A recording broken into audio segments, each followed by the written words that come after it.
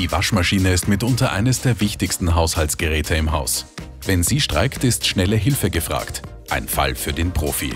Oder doch den geschickten Selbermacher? Für alle Selbermacher beschreibt dieses Video den vorderen Reparaturzugang für Maschinen der Electrolux-Gruppe ab ca. 2009. Im Speziellen handelt es sich um eine AEG Lavamat Exklusiv Protex. Dieser Zugang ermöglicht die Reparatur der Türmanschette, der Laugenpumpe und des Türschlosses. Aber Achtung! Arbeiten an elektrischen Geräten sind nicht ungefährlich.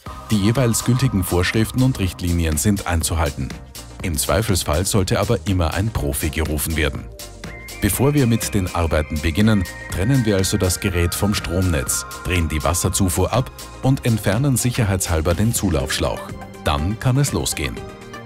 Als erstes lösen wir die zwei obersten Schrauben an der Rückseite des Geräts und entfernen den Gerätedeckel. Es folgt die Waschmittelschublade.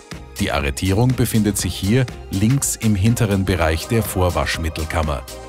Im selben Zug lösen wir die Schrauben an der Vorderseite, die den Waschmittelbehälter und das Bedienteil miteinander verbinden.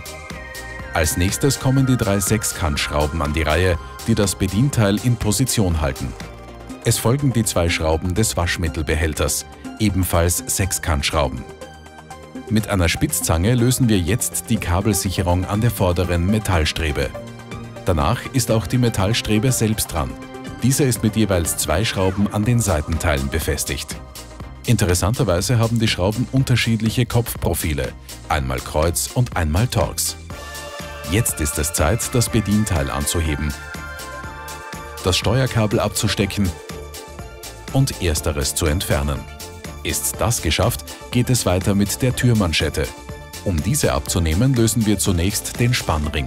Der Ansatz befindet sich dafür meist unter dem verdickten Rand der Manschette. Aber Vorsicht, denn soll nicht gerade die Manschette ausgetauscht werden, darf diese nicht beschädigt werden. Anschließend ziehen wir die Manschette vom Falz ab und verstauen diese hinter der Frontblende. Es folgt das Lösen des Türschlosses. Dazu halten wir es mit einer Hand fest und entfernen die dazugehörigen Torx-Schrauben. Jetzt noch kurz zur Seite und nach hinten drücken und schon ist es geschafft. Die Blende des Flusensiebs ist eines der letzten Elemente, das abgenommen wird. Einfach kurz zusammendrücken und schon ist sie gelöst. Danach steht endlich das Entfernen der Frontblende auf dem Programm. Die Schrauben an der Unterseite des Geräts lassen sich aber nur im gekippten Zustand lösen. Eine Sicherung der Maschine durch eine zweite Person ist hier angeraten.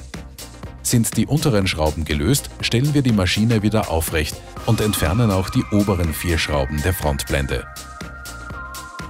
Ein letzter Ruck und die Blende ist entfernt. Geschafft!